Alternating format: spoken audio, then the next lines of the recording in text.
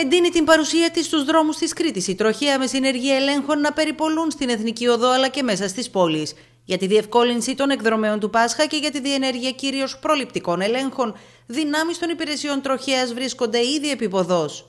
Από τα τμήματα τροχέας των νομών ε, της, ε, του νησιού και από το τμήμα τροχέας Βόρειο Οδικό Άξονα Κρήτης έχει πραγματοποιηθεί ειδικό και εκπονείται ειδικό σχέδιο δράσης κατά το οποίο θα υπάρχουν ε, ειδικά συνεργεία τόσο στις εισόδους και στις εξόδους των πόλεων, στην Εθνική Οδό, για την ασφαλέστερη κυκλοφορία των οχημάτων και των πολιτών. Ταυτόχρονα διενεργούνται έλεγχοι για επικίνδυνες παραβάσεις του κώδικα οδικής κυκλοφορίας με έμφαση στην οδήγηση υπό την επίρρεια αλκοόλ. Καθ' όλη την εορταστική περίοδο, η Γενική Αστυνομική Διεύθυνση Περιφέρειας Κρήτης θα εφαρμόζει αυξημένα μέτρα τάξης και ασφάλειας.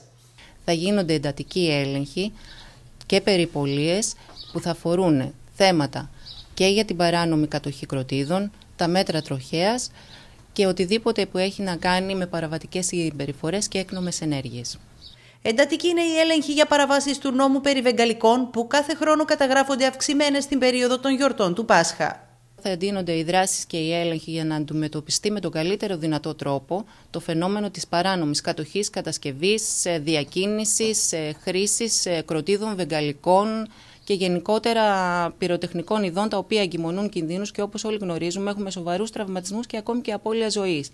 Μέσα σε μία ημέρα, ένας 39χρονο συνελήφθη από άνδρες της Υποδιεύθυνσης Ασφάλειας Χανίων σε περιοχή του Δήμου Πλατανιά, έχοντας παράνομα 1.800 κροτίδες και 5.900 παιδικά θύρματα, ενώ σε περιοχή του Δήμου Χερσονήσου, αστυνομικοί του ΤΑΕ Ηρακλείου συνέλαβαν έναν 54χρονο, ο οποίος είχε σε κατάστημα ιδιοκτησίας του 1.083 κροτίδες.